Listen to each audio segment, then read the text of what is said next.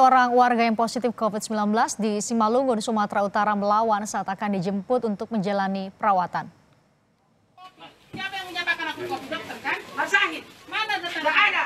Itu salah orang jalan dua buku. Ah. Pulang.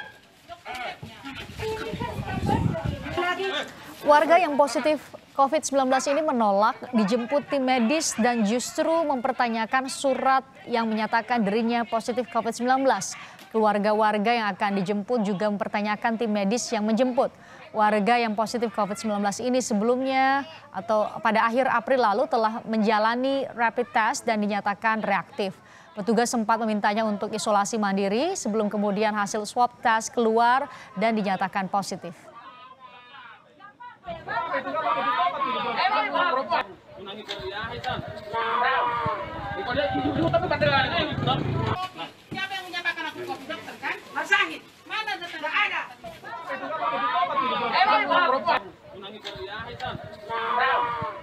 Warga yang positif COVID-19 ini akhirnya dapat dijemput setelah Bupati Simalungun meminta bantuan kepada Kapolres untuk pengawalan penjemputan.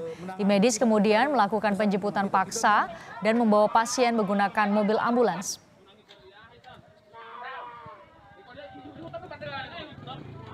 Isolasi di tempat keluarga, lingkungan, tokoh-tokoh masyarakat, tokoh gereja, eh, semua sudah melakukan pendekatan. Awalnya keluarga tidak bersedia untuk dirawat, dan terakhir dengan bantuan aparat keamanan, eh, warga tersebut sudah kita bawa ke rumah sakit darurat untuk melakukan pemulihan kesehatan.